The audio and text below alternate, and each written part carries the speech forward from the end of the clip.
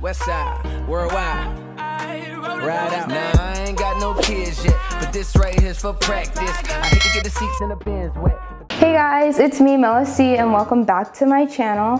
On this episode of Mila Makes, I'm obviously in a different location. That is because I am back home for fall break. On today's episode, we'll be making homemade cinnamon roll bites. This TikTok video was posted out by the user pigout underscore NYC. The video currently has 1.5 million views and 174k likes. This recipe could be used for breakfast, dessert, or just as a snack, so it's very versatile. So yeah, and it doesn't require a lot of ingredients. So let's get started.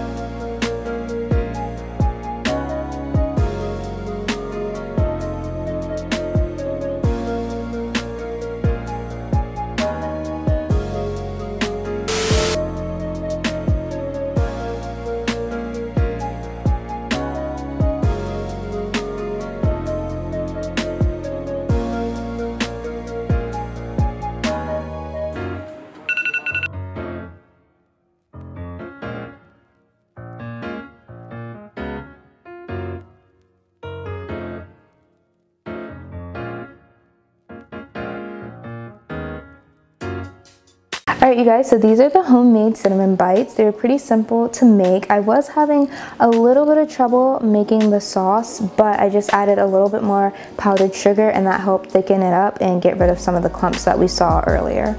So let's try it.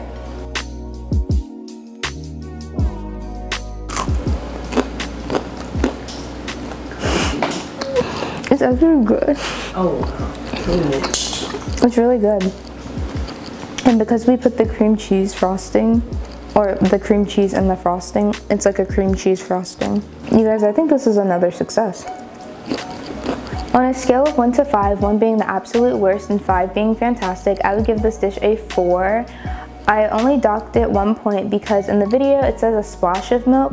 Not really sure how much milk that is. I kind of eyeballed it and it worked out okay. Um, but that also may be the reason why my um, icing came out a little clumpy at first and another reason why I had to add the powdered sugar. So I feel like that's fair enough to dock the recipe one point. So four out of five is my overall rating. All right, you guys, thank you so much for watching this episode of Mila Makes. If you have any TikTok recipes that you want me to try in the future, make sure you comment them down below. Make sure you subscribe to my channel and give this video a thumbs up and I will cook for you guys later. Bye.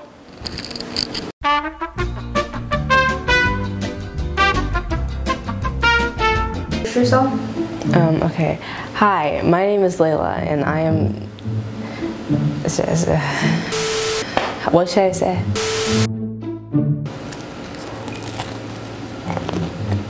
Oh, okay.